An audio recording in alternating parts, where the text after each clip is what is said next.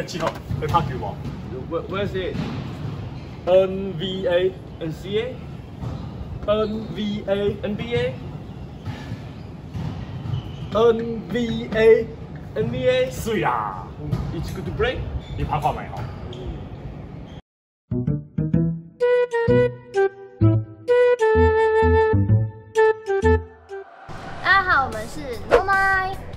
回到我们的开箱系列。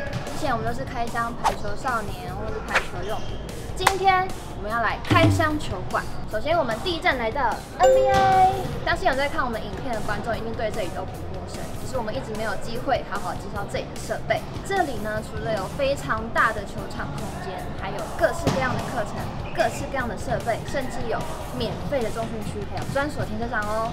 所以，我们今天大家一起来看，出发！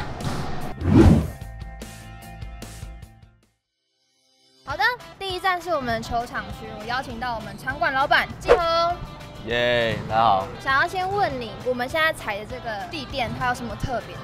我们地板就是二零二零年的那时候疫情的时候，意大利那边有球队要结束了，他们其实也也用没多久，球队解散了，啊，直接把他们地垫买过来。所以这是正式意大利联对赛。对对，比较特别。如果细讲啊，这种地垫它的表面处理是为排球设计的，所以它会抓住你鞋底的橡胶。可是如果你扑下去的时候，比较多滑动。现在很多是室内球馆，发球区到底对发球员友不友善？让我们实际量量看它到底有多宽我们取出我们的测距仪，三米一左右，好像讲三米一二，是不是有点抽象？对，会有点不重要。然实际走走看。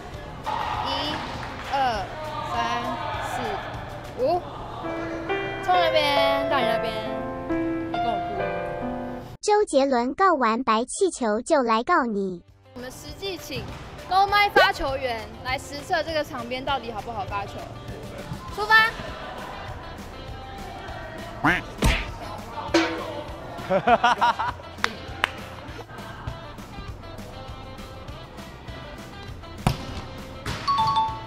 呃，差不多了，就是一个差两步，最多最多三步。一共五步，大家自己斟酌一下，发球不要踩线。接下来要介绍一个我觉得最酷的东西——大电视。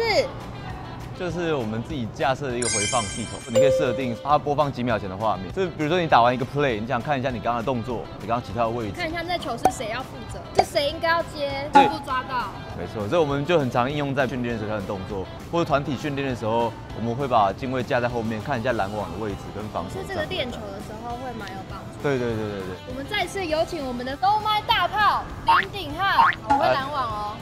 好，这个。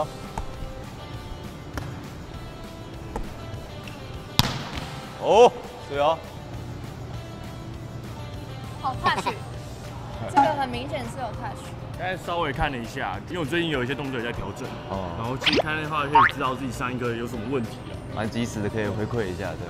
那你想要用这个器材，我在念研究所的时候，有陆屋体大，就是日本的其中一个体育大学的教授来介绍他们的运动员训练中心，他们在足球跟排球都有这种系统，就觉得之后我也想要自己来搞一个。之后氪金只要多几个进位就可以直接是土炮的那个鹰眼，期待一下。期待一下。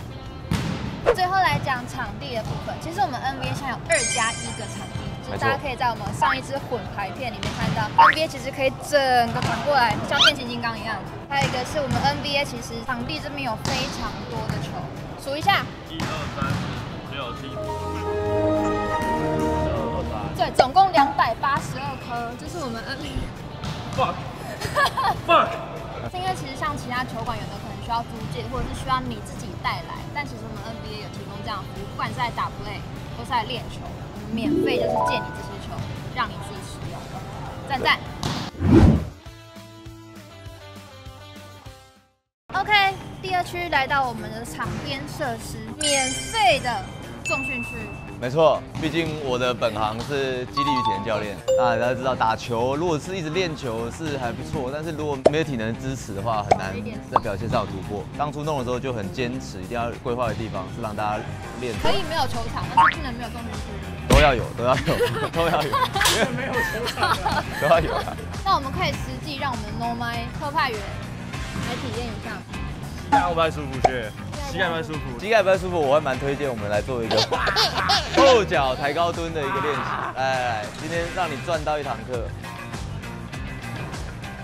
如何？差不多。卡在这里，对，也是紧紧的，紧紧的，它不会痛啊。OK 啊，那这样没有很严重，不是很严重是。等一下你就在这个位置，然后帮我做反复的侧跳，这个蛮赞的。做个五百六十三下。学姐，学姐，来试试看，左右侧跳，没错。季红，我你好练球啊，季红。啊，那不错，你等一下就带着一个全新的膝盖去练球。我们这影片到这边结束，喜欢的按个喜欢。看一下你们球馆很好玩哎，很好玩啊。超好玩的。最后我们来看 NBA 传说中的三大神兽，还有就我们的发球机啊，就是它可以发跳发、飘球，还可以举球，还可以做惩罚。还可以做惩罚详。见之前 No My。举球的目标价，在接发球的时候也会有目标价。那我们一样来实测一下，它这个转速上下转速，这个是最飘的。快可以到什么样的程度？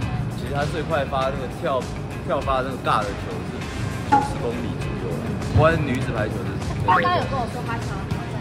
可以，没问题。你看我都赢他还。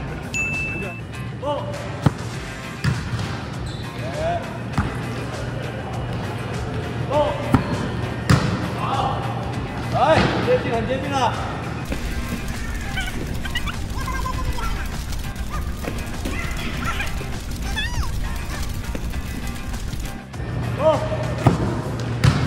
这个球真的是 Number of shoots，顶浩花了五十一球，接近一颗。不是大拇指就是，一定是大拇指啦。要我切了。他刚刚说那是国家级的。哦，国家级是。那我夹起来，我五十球可以上去一球。只能一球。来到 NBA 的休息区，那我们这边其实跟其他场馆一样，就是吃东西不要在球场上。我们来二楼一个舒适，有冷气、有沙发、床、电脑，让你可以打英雄联盟。哦，那看一下我们二楼休息区，就是其实有蛮大的空间，让大家在这边吃东西跟休息。这其实是你们刚盖好不久，对不对？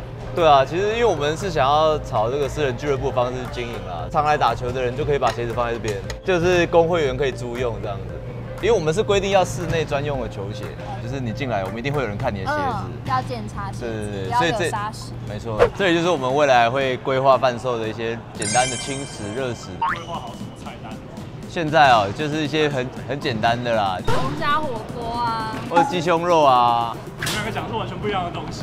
对，因为毕竟我研究所其实是念运动营养的，我们蛮重视在训练前、训练后的补充，对于运动表现提升比较有帮助的所以我们。来打球是一整套的，有打球，有重训。理想上是这样，还在规划当中。好，那我们就是大家可以期待一下 NBA 未来的消息。赞。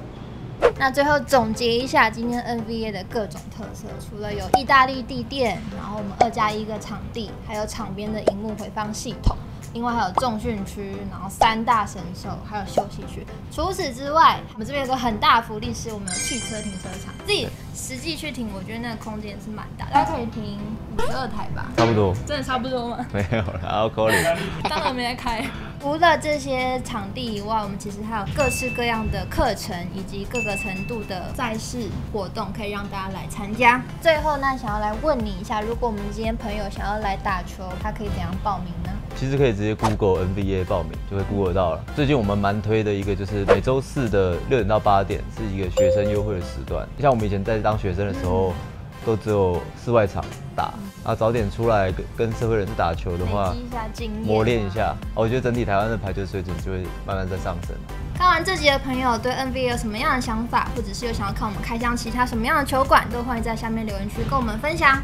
那这集到这边结束，喜欢的爱们喜欢。不喜欢也要按喜欢。那我们下集再见喽，拜拜。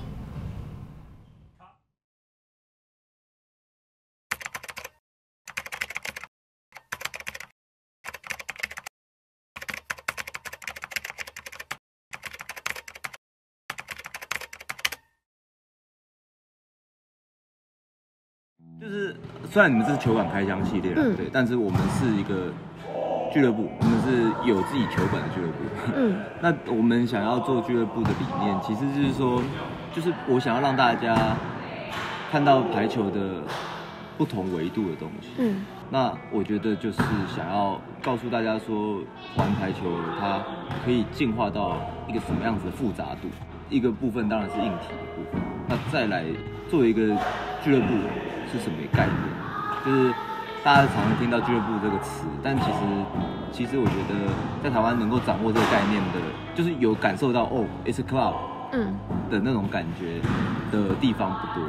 就是说，他他认同这个地方，不是因为这这个这个地板，他是认同在在这里打球这一群人，他们是支持怎么样子的一个一个想法，嗯。怎么样的一个理念，就是大家在这边，我我不是只追求每个礼拜有一两次球可以打这样子这么简单的事情，嗯。我们在这边寻求的是更多成长，更多人与人之间的连接。举例而言，就是说我们现在有一个有一个很常态的杯赛叫舰艇系列赛，它现在参加的学院都是《动力火车》不是有首歌吗？《动力火车》有一首歌，他那个 MV 就在演说一群就是以前年轻都在玩团的一群人，嗯，然后他们就是为了生活还是什么的，他就是去卖炭烤，然后卖炭烤卖一卖，然后他就看到一个选秀节目，然后就想起他那把老吉他，那年轻时候那个那个成为音乐家的那个梦想，他想要再去拼一次，然后就找了以前以前的那些团员，就是结婚生子或者是有各自的事业的，以前很热爱这个东西，嗯，很多都都被遗忘尘封十几二十年，那最后突然有机会大家再聚在一起，嗯，有这种这种感觉。在这个舰艇系列赛里面，很多人都是这样。嗯，如如果你说只是一个球球馆，好像不不不够能够要告诉大家我们想要做的事情，嗯是不是这样子？啊，为什么叫舰艇？是因为我们二零一八一九年的时候一起练球的一个伙伴叫舰艇，他很早就被诊断出脑瘤，然后几次手术之后恢复状况不错，然后就来跟我们练球。其实我们都不知道他有这个状况。是有一次他妈妈打电话跟我讲说，舰艇快不行了，我妈干傻眼，快不行了什么意思？他就是三个月没看到他，他就恶化，然后我们就赶快去去医院找他，然后他妈一直跟他讲说，一直跟我们讲说，他到就是最后一次要开刀之前，他意识还可以的时候，他就是转气脸，还是就是转那个意大利联赛在看他、嗯。他这个这个运动对他来说是这样子的一个一个意义在这里。所以我们想要传承他这样对于排球希望更多人就是爱上这个。对，所以你说这个东西很难很难说，就是大家看到的是硬体，但我们在在在试着传递的的感觉是这样。嗯，还其他一个我很想提的点点就是他们台艺大，就是在地的一个俱乐部，他他要他有一个很重要的一个一个责任是连接当地的的的资源，像棒球已经是有这个地主制，就是说哦，我这个球队我就是待在这个这个城市，嗯，我就是这个城市的一个一个代表的一个精神，嗯，那现在才刚开始没几年，可是你看一下美国红袜队在那个地方四五十年，嗯六七十年，甚至有个百年的分威球场。嗯，他他在一个地方，他成为在那个那个环境生生活的人的一个精神的一个指标。那我就把台艺大拉进来这样子的概念，就是因为他们没有地方练球，他们学校就是不重视排球。那我就会觉得，我每次看到这种把排球当次等运动的这种这种行为的时候，我就会觉得，哎，我们排球不能让人家这样看不起，反正我们有点机会，然后让他台艺大在这边校队在这边做练习。然后他们用他们的方式来回馈这个俱乐部。但是停车场的那个护栏就是其中一个例子。当然他他用他们的力量来帮助这个地方，让它更更丰富。然后也我们就提供了他们这些喜欢打球的的小朋友，就是打球的地方的。对啊，那这种东西我试着能够试着在这个小小的部分能够传达的话，我也觉得很不错了。嗯。